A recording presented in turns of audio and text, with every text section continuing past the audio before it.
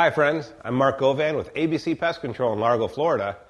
Getting rid of army ants is not something we have to run into a whole lot, even in the central Florida part of the state that we're in. But because army ants are in a tropical uh, areas, uh, those of you that are affected by them know that army ants tend to move all the time. They'll actually come out, they feed in an area, and then they move on from that area to a new area.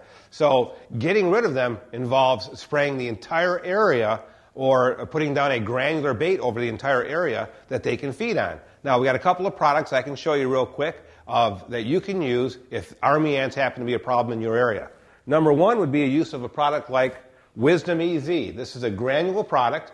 You put it down with either a fertilizer spreader, a handheld fertilizer spreader, or like a lawn fertilizer spreader, but you have to treat the whole area because of the nature of this particular type of ant. They move so often, you have to get them when they're in the area. Another way to go ahead and get rid of them is to use a product such as a liquid Talstar. Now, bifenthrin is the active ingredient, and you can use this either in a pump, hand up uh, pump sprayer, or the best way is to call out a professional who can come out to your either home or business or wherever you're happening to be seeing these ants at that time, and they can spray the whole area for you, and that will kill all the army ants in your area. I'm Mark Govan with ABC Pest Control in Largo, Florida, hoping you have a pest free day.